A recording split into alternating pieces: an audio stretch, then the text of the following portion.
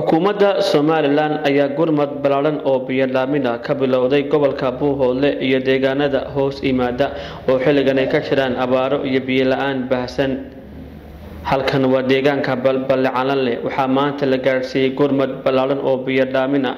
Waxaana bulshada deegaanku halkan si weyn ugu mahad celiyeen xukuumadda somalilan gaar ahaan gudoomiyaha gobolka buuhoodle nasteex maxamed cabdille iyo xildhibaanada golaha deegaanka degmada buuhoodle uu horkacayo maayar ku-xigeenka degmada buuhoodle mustafe cabdi ayaanle oo isagoo halkan ka hadlay ugu horeyntii uuna mahad celiyey barasaabka gobolka buuhoodle iyo xukuumadda somalilan oo iyagu ka soo jawaabay baahihii biyo la'aanteed ee ka taagnayd deegaanadan.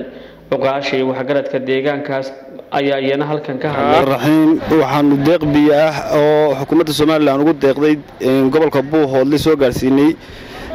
Degmada balacalanle oo ka kooban shan booyadood iyadoo uu iisoo wakiishay barasaabka gobolka buuhoodle nastaax maxamed cabdille waxaan anigoo ah gudoomiye ku-xigeenkii golaha deegaanka degmada buuhoodle deeq biyaa soo gaarsiiyey oo ku wareejiyey odayaasha iyo guddida balcalanle. Sidaa deeqdii biyaha ahayd ee xukuumaddu ugu soo deeqday gobolka buuhoodloo dhan sidaasaynu ugu soo wareejinay horta degmada. Wasalaamu calaykum waraxmatullahi abaaraha lagula dagaalamayo oo biyodhaan iyo raashinba'a laakiin iminka deegaanka buuhoodle waxaa ka bilaabmay gobolka buuhoodle waxaa ka bilaabmay biyodhaan kuwii ugu horreeyey waxay soo gaadheen balcalanle oo shan booyadood ka kooban odayaashii iyo deegaankiina waa kuwan. Maanta bilownay biyodhaankii koowaad ee xaaladda abaarta ayaan maanta wejigii koowaad maantaanu bilownay.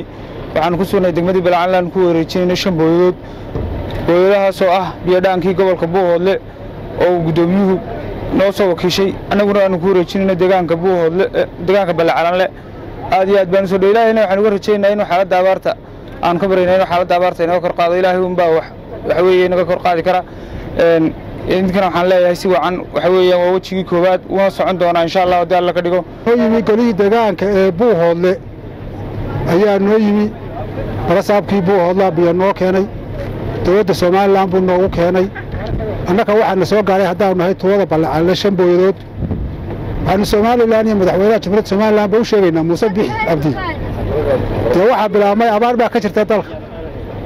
Waana dee naf iyo maalba dadka way haysataa. Iyo mudana madaxweyne dee wixii la qaban karaaba ha la qabto. Shacabka ha loo qabto hadday biyo tahay hadday baa tahay hadday xagga tahay daawada.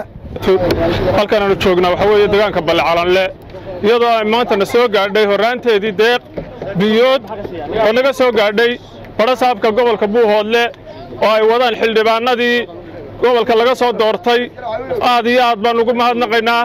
Xukuumadda somalilan baannu arrinkaa ugu mahadnaqaynaa.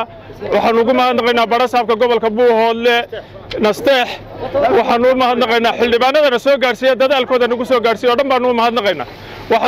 Waxaannu leenahay dee meeshan waxa weeye waa horta waa bilowgii. Ilaahay deeqdiisa lagu dhergaayo ilaahay deeqdiisa baynu rajaynaynaa. Laakiin waxaannu doonaynaa in dadaal dheeraada aad iyo aad xukuumadda somalilan oo dhammi ay dadaal dheeraada samayso. Halkanaanu joogno waa ballacalanle odayaashu ballacalle iyo guddida baanu ka mid nahay. Eelka waxaa nalagu keenay shan booyadood oo biyaah. Golihii deegaanka iyo guddoomiyaha buuhoodleedna soo gaadhsiiyey halkan baanu kaga guddoonnay. Eelka abaar adag baa ka jirta. Biyo iyo baadba leh. Golaha deegaanka iyo buuhoodle iyo madaxdaba waa u mahadnaqaynaa waxasaanu idiin sheegaynaa haddaad tahay madaxweynaha somalilan muse bixi cabdi.